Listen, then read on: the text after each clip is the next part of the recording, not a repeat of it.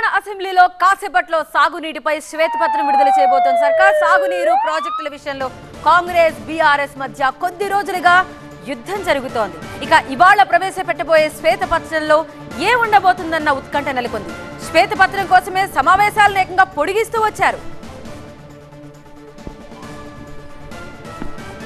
So దీనికి సంబంధించి details అందించడానికి మా ప్రతినిధి ప్రభాకర్ ప్రస్తుతం లైవ్లో అందుబాటులో ఉన్నారు. ప్రభాకర్ ఏకంగా కేవలం శ్వేతపత్రం కోసం ఇప్పటి వరకు పొడిగిస్తూ వచ్చారు. నిజంగా ఇప్పుడు ఆ శ్వేతపత్రంలో ఏ ఉంటుందని కనిపిస్తోంది ప్రభాకర్?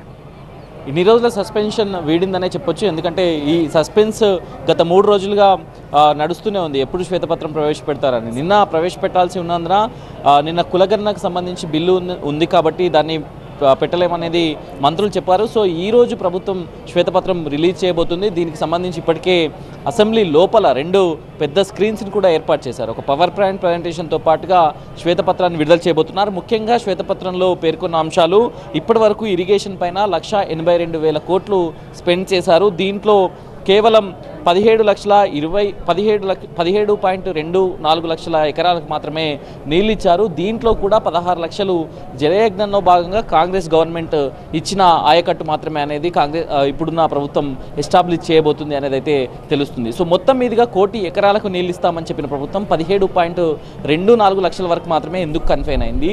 దీనిలో కేవలం వీళ్ళు లక్ష ఎకరాలకు మాత్రమే కొత్తగా అదనంగా నీళ్ళు ఇచ్చారు అనేది ప్రభుత్వం క్లియర్గా ఎస్టాబ్లిష్ చేయబోతుంది. సో దీనికి సంబంధించి అటు బీఆర్ఎస్ కూడా కౌంటర్గా ప్రిపేర్ అవుతుంది.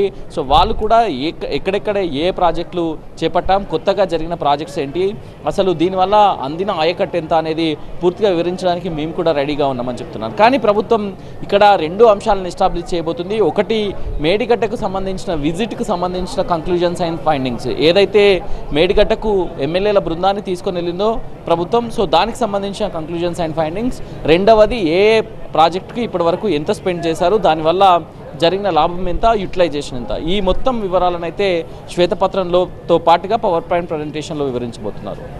Right thank you so much Prabhakar